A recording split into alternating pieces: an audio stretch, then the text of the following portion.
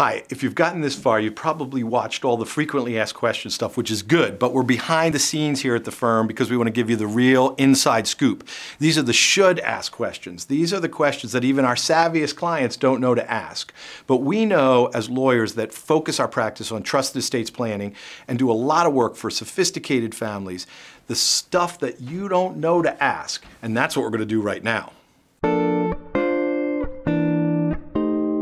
Welcome back to the should ask questions, the questions that sophisticated clients really need to ask but don't even know that they should be asking.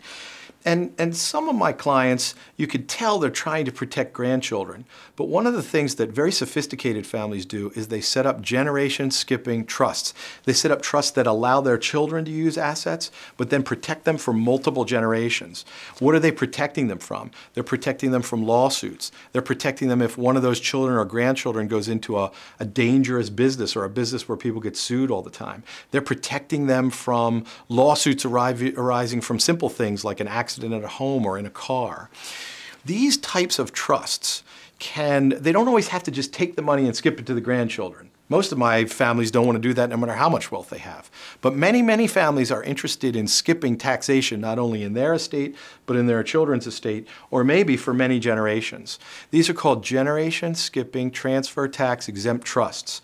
It's sophisticated, it's complicated, but it often does many, many things that clients want there's a price to pay, which is when you have these types of trusts, your children and their trustees, in many cases, will have to uh, keep certain tax records and we'll have to file tax returns and we'll have to keep accounting in a certain way.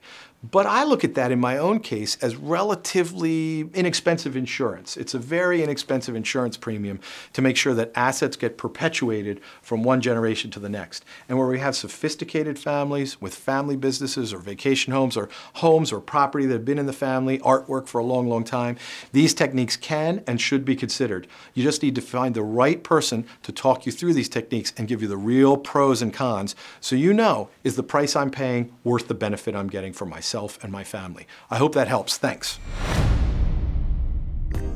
If you liked that video, if you enjoyed it, if you found value in it, if it gave you information you didn't know about before, then you're going to want to see the other videos. We have some of the most frequently asked questions that clients ask lawyers on the topic of sophisticated estate planning and estate planning for families that have family-owned businesses and family-owned vacation homes.